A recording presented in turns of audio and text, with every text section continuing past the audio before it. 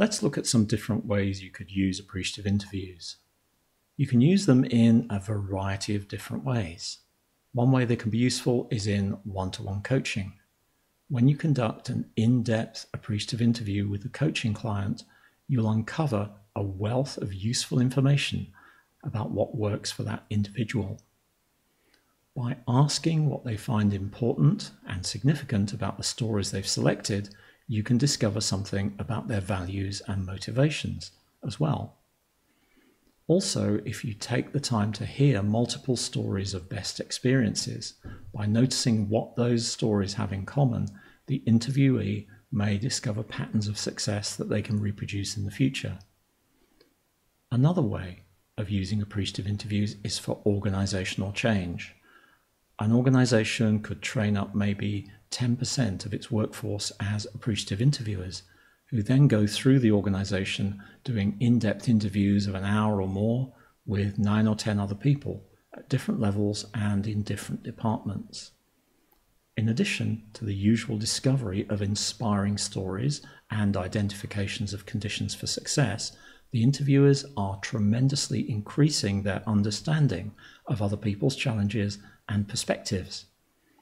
This increased understanding should help communication, trust, and sharing of ideas between different areas of the organization. But people can still do valuable appreciative interviews even without any prior training. Very often, when I facilitate an appreciative inquiry process with a team or a whole organization, we'll have tables of six to eight people. If it's the whole organization, you'd want each table to have a mix of people from different departments, different roles, different levels. The aim being to increase understanding of other people's experience and develop new working relationships across departmental boundaries. If we're working with just one team, at the very least, we'd encourage people not to sit next to their best mate at work. We'll give participants an interview sheet with questions that we've crafted around the topic of the inquiry.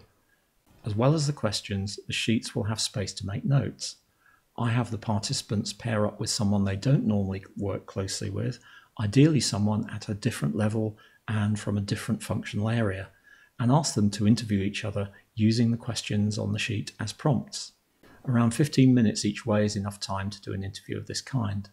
I brief participants that they should go through all the questions with one person interviewing and the other telling their story, then swap roles because if they both attempted to answer question one together, then both move on to question two, and so on, they would be dipping in and out of their memory and wouldn't be able to immerse themselves in it so deeply.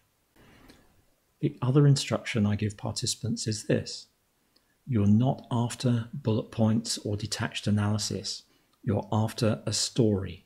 You'll know when you're doing a good interview when you see the person you're interviewing start to relive the experience and lose themselves in the story, experiencing the same positive emotions they felt at the time. And you'll know when you're doing a really good interview when you find yourself, as the interviewer, feeling some of those same positive emotions. This process never fails to change the atmosphere in the room as participants feel better recalling their successes and they start to open up and trust each other as sharing their stories activates their default mode networks.